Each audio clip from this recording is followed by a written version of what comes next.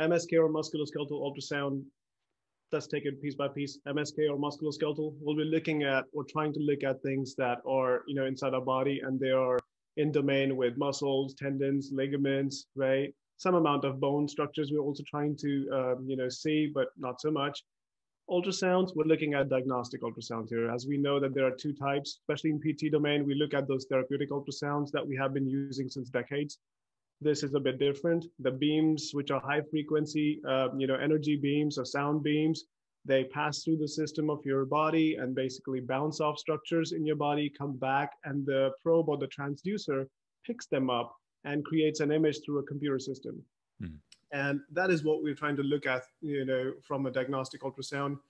And uh, that's primarily what it is. People mostly know it as, you know, being used extensively in gynecological setups, you know, to watch the baby.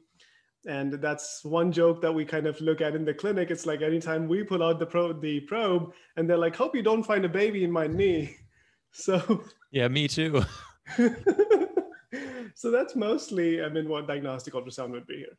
So when you're looking at an ultrasound, you're what can you see, so to speak? Because X-rays, you can see bones, MRIs, soft tissue. What are you looking at with, through the ultrasound?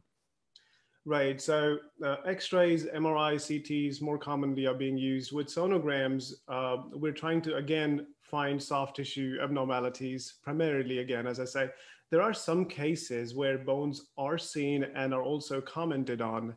Uh, not not all of them, but again, I would say as an exception, normally we would see, and this is something that I really like to examine as well, bones in terms of rib fractures that's where you can really you know find those and can put them in perspective and say yeah you got a rib fracture. I know that. Even if it doesn't show up on an x-ray so ultrasounds are more sensitive to it. But apart from that you're mostly looking i would say 99% of the times you try to look at tendons ligaments muscles um, you know cartilaginous structures and labrums. Those are the structures that we want to look at uh, in, in their entirety when you're going through an ultrasound report